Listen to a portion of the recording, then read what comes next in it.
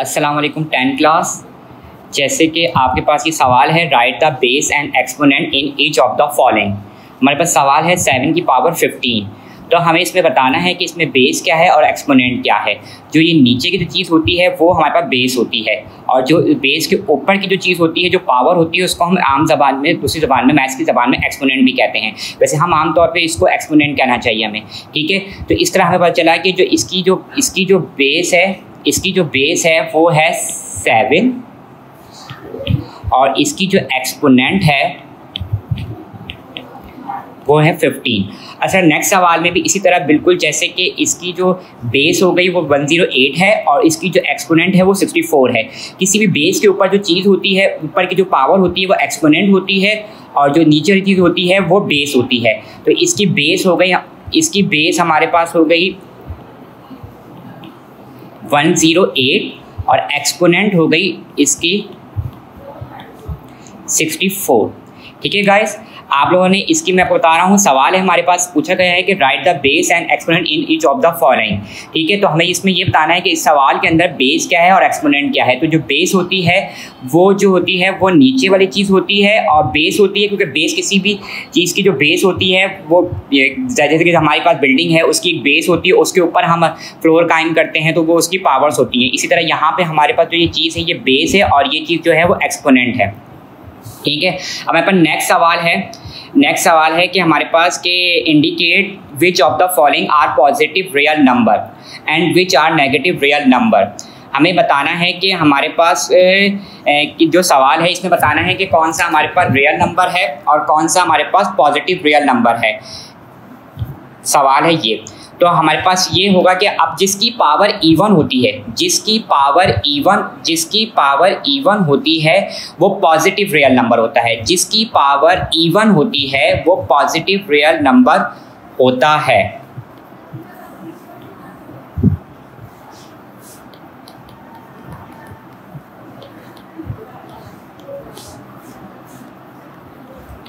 और जिसकी power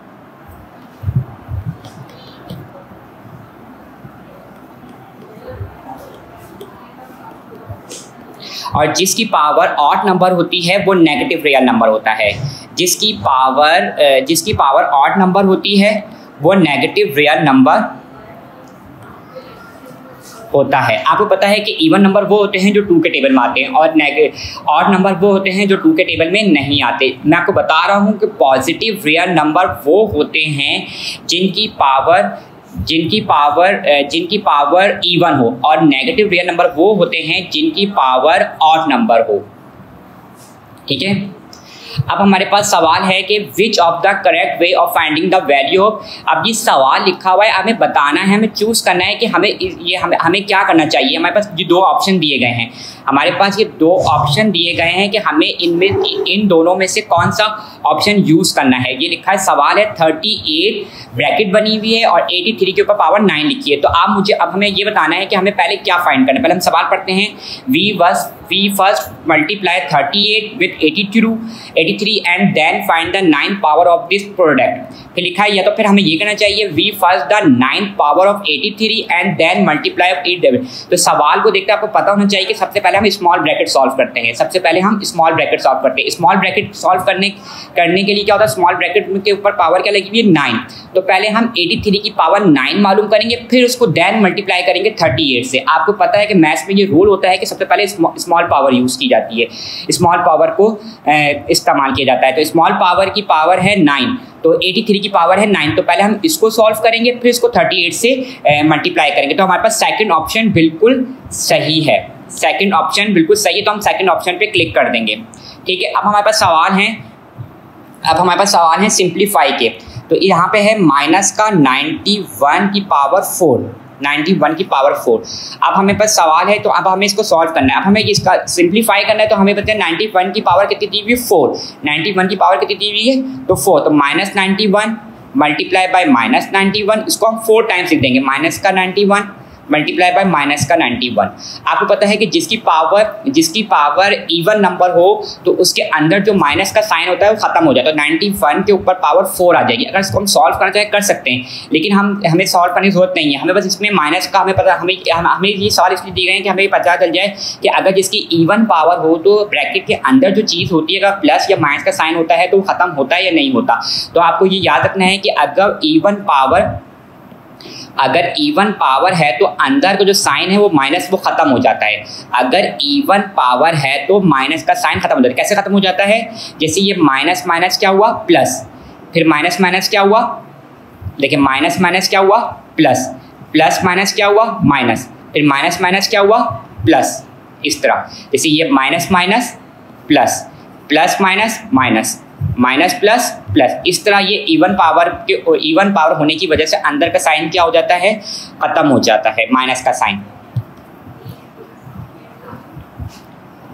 next सवाल है मेरे पास फाइव की power four multiply by five की पावर टू अब मैं आपको बता दूँ मल्टीप्लाई में जब जिसकी बेस सेम होती है, जिसकी जिसकी बेस सेम होती है, जिसकी बेस सेम होती है, उनकी पावर आपस में प्लस हो जाती हैं। जिनकी बेस सेम ये बेस है ये बेस है और ये एक्सपोनेंट है। जिनकी बेस सेम होती है, उनकी एक्स पावर जो है वो प्लस हो जाती है। तो five five four plus two जिनकी बेस ये बेस कहलाती है। जिनकी बेस सेम होती है, उनकी पावर आपस में प्लस हो जाती है। अगर ये तो ये फाइव फोर प्लस सिक्स ये इसका आंसर है। अगर यहाँ पे, अगर यहाँ माइनस लिखा होता तो मैं फोर माइनस टू लिख देता। अगर यहाँ माइनस लिखा होता अगर यहाँ माइनस लिखा होता तो मैं यहाँ लिखता फोर माइनस का टू तो यहाँ पर बचता टू ठीक है? लेकिन यहाँ कोई साइन नहीं, जब कोई साइन नहीं होता तो यहाँ पे प्लस होता है। जब कोई साइन नहीं होता तो क्या होता है? प्लस होता है। जब कोई साइन होता तो क्या होता है? प्लस होता है।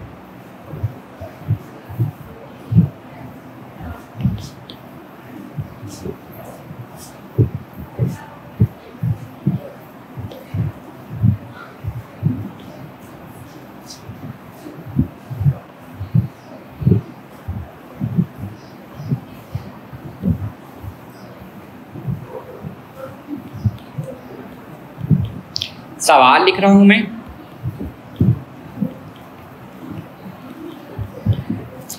अब हमारे पास जिनकी इस सवाल में जो जो जिनकी बेस है बेस वाले हैं, उनको एक करने ए वाली की सब एक एक जगह कर लेंगे। ए ए की पावर फाइव बी को जगह कर लेंगे बी बी की पावर थ्री फिर सी को एक जगह कर लेंगे सी सी की पावर एक जगह कर लेंगे। तो ये हो जाएगा फाइव यहाँ कुछ पावर जब कुछ नहीं तो वन होती क्या होती है? वन तो वन प्लस फाइव यहाँ बी है बी बेस हो गई और इसकी पावर जमा हो गई टू प्लस थ्री यहाँ सी है सी की पावर जमा हो गई थ्री प्लस टू तो ए की पावर आ गई सिक्स और बी टू थ्री सा टू थ्री प्लस किया फाइव और सी भी टू थ्री प्लस किया फाइव ठीक है, जिनकी बेस सेम होती है, उनकी पावर आपस में जमा या माइनस हो सकती है. अब जिनकी बेस सेम थी, मैंने पहले उनको एक जगह कर लिया ए ए को अलग कर लिया बी बी को अलग कर लिया सी सी को ए ए को अलग कर लिया बी बी को अलग कर लिया सी सी को अलग कर लिया। फिर इनकी पावर्स को मैंने एक जगह कर लिया फिर इनकी पावर्स को मैंने एक जगह कर दिया प्लस कर दिया, क्योंकि ये प्लस हो रही थी। अब नेक्स्ट सवाल हमारे पास ट्वेल्व है ये, ठीक है? Three multiply by five X by fourteen अब इसके ऊपर पावर लिखी हुई है फोर्टीन इसके ऊपर लिखी है पावर फोर्टीन अब किसी ब्रैकेट के अंदर जब कोई चीज़ होती है तो वो पावर जो होती है, वो सबके ऊपर आती है। पावर बारी बारी सबके ऊपर आएगी। मतलब इसके ऊपर भी ये पावर आएगी, इसके ऊपर भी पावर आएगी एक्स के ऊपर भी आएगी वाई के ऊपर भी आएगी। ठीक है? तो ये हो जाएगा थ्री की पावर फोर्टीन फाइव की पावर फोर्टीन और x के ऊपर भी पावर 14 आ जाएगी और y के ऊपर भी पावर 14 आ जाएगी। तो मैं बता रहा हूँ ब्रैकेट के बाहर जो पावर होती है, वो बारी अंदर जितने भी अल्फ़ाबेट्स हों, जितने भी नंबर्स हों, उनके ऊपर बारी बारी आती है।